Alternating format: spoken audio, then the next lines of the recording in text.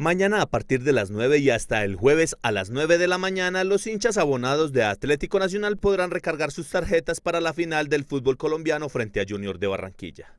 Los precios de las recargas son Platea 212 mil, Occidental Alta 127 mil, Occidental Baja 114 mil, Oriental Baja 76 mil, Oriental Baja 63 mil, Norte y Sur 35 mil pesos.